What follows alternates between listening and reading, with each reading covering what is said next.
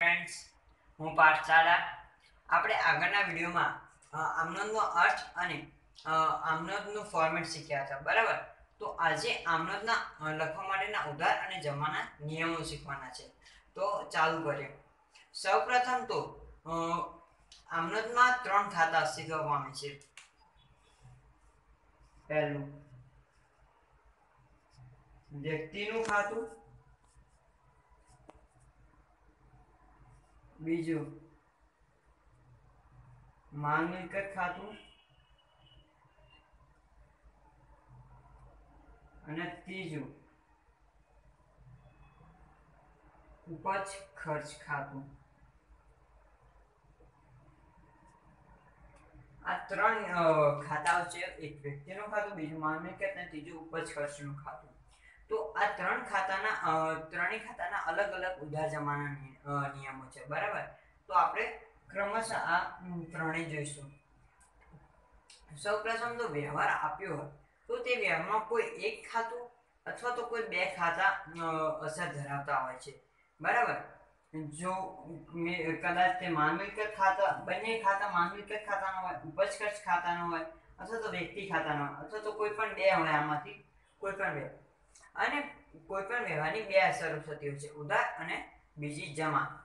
તો આ ઉધાર અને જમા હશે, આ ત્રણ ખાતા પરથી આપણે શીખીએ. સૌપ્રથમ વ્યક્તિનું ખાતું.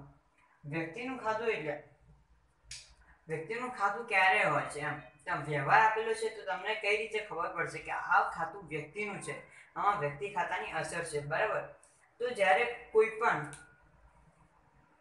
કોઈ પણ નામ આપેલું હોય, કોઈ સંસ્થાનું નામ કોઈ સંસ્થાનું નામ, કોઈ માણસનું નામ, કે કોઈ કંપનીનું નામ, કોઈ સ્કૂલનું નામ, તો એક ત્યારે એ ખાતા ત્યારે એ વ્યવહારમાં વ્યક્તિ ખાતું અસર કરે છે.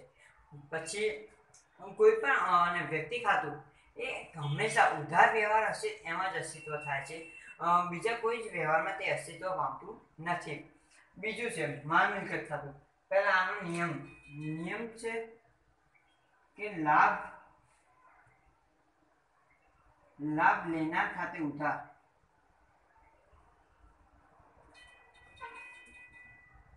અને લાભ આપનાર ખાતે જમા.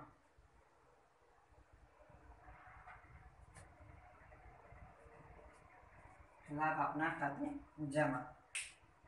ધંધામાં કોઈ પણ વ્યક્તિ લાભ લેતો હોય તો તેને ઉધાર કરવાનો અને કોઈ પણ વ્યક્તિ લાભ આપનાર છે તો તેને જમા કરવાનો. બરાબર? છે આ વ્યક્તિ ખાતાનો નિયમ કે આ ખાતું હોય અને આ નિયમ અસર કરવાની. આ નિયમ મુજબ આપણે વ્યવહારમાં ઉધાર અને જમા કરવાનું. બરાબર? બીજું છે માલ મિલકત ખાતું. માલ મિલકત ખાતા છે એવી તમને કઈ રીતે ખબર પડશે? અસ્તિત્વ એકચ્યુઅલીમાં આ માલ ખાતું અને મિલકત ખાતું એમ બંને બંને બંને અલગ અલગ ખાતા છે. માલનું ખાતું એક એમાં કઈ બાબતોનો સમાવેશ છે? તો જે ધંધામાં આપણે બિઝનેસ કરીએ છીએ, તેનો જે માલ છે, મિલકત માલ છે, જેનું ખરીદ, વેચાણ, ખરીદ, પરત, વેચાણ, પરત વગેરે બાબતો, એનો સમાવેશ માલના ખાતામાં થાય છે. મિલકત તો રોકડ સિલક છે, બેંક સિલક છે ફર્નિચર છે, મકાન છે, યંત્રો છે, વગેરે બધી મિલકતોનો સમાવેશ મિલકત ખાતામાં થશે અને આનો આનો નિયમ એવો છે કે, આવે તો, ઉધાર ને જાય તો જમા. કોઈ પણ મિલકત ધંધામાં માલ કે મિલકત ધંધામાં આવે તો ઉધાર કરો અને જાય છે તો જમા કરવાનું. આનો નિયમ, આ બંને ખાતાઓનો નિયમ એક જ છે. તેથી આને આ બંને ખાતાઓને એક જ ગણવામાં આવે છે. માલ, મિલકત ખાતા નામથી ઓળખવામાં આવે છે. બરાબર? આનો નિયમ છે. ઉપજ અને ખર્ચનું ખાતું. ઉપજ ખર્ચનું ખાતું એટલે તમને નામ ઉપરથી જ ખબર પડી જાય કે કોઈ પણ ધંધામાં ઉપજ, કોઈ પણ ધંધામાં ઉપજ થાય છે તો તે ખાતું આમાં આવશે અને કોઈ પણ ધંધામાં ખર્ચ કરે છે, તો ખાતું એમાં આવશે, બરાબર? તો ઉપજ અને ખર્ચ ખાતાનો નિયમ શું છે? ઉપજ અને ખર્ચ ખાતાનો નિયમ એવો છે કે કોઈ પણ નુકસાન અથવા ખર્ચ થાય તો ઉધાર, આવક અથવા ઉપજ થાય તો જમા. આપણે ધંધામાં કોઈ પણ પ્રકારનો ખર્ચ કરીએ છીએ અથવા કોઈ પણ પ્રકારનું નુકસાન થાય છે, તો તેને ઉધાર કરવાનું છે. અને ધંધામાં કોઈ પણ આ પ્રકારની આવક મળે છે અથવા ઉપજ થાય છે, તો તેને જમા કરવાનું છે. આ ત્રણ ખાતાના ઉધાર અને જમાના નિયમો છે. બરાબર એકવાર ફરીથી જોઈ લઈએ. વ્યક્તિનું ખાતું હોય તો લાભ લેનાર ખાતે ઉધાર તે લાભ આપનાર ખાતે. બરાબર? માલ મિલકત ખાતાનું હોય તો આવે તો ઉધાર જાય તો જમા.